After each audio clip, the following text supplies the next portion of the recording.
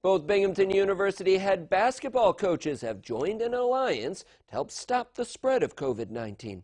Bethann Shapiro Ord and Tommy Dempsey have joined up with 42 other Division I basketball head coaches in the state to form Team New York. The alliance is designed to have each coach use his or her platform to send messages about the necessary actions to prevent the spread of the virus. Ord saw this as an opportunity to join in the fight and help be a part of the solution. We have so many people that are in the front lines, all the healthcare workers, I mean, numerous people in the groceries, and, you know, they're doing their job.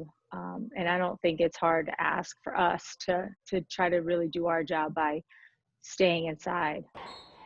Dempsey is used, is used to being the person delivering the message to his squad. Now, as his analogy goes, we all need to be good teammates in order for everyone to succeed.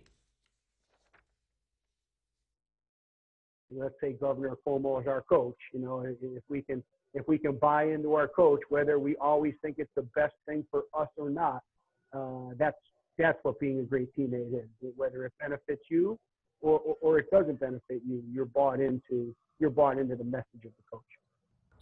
The alliance was started by the New York Rens, an AAU basketball organization and also includes some big name coaches such as Syracuse's Jim Boeheim and Iona's Rick Pitino.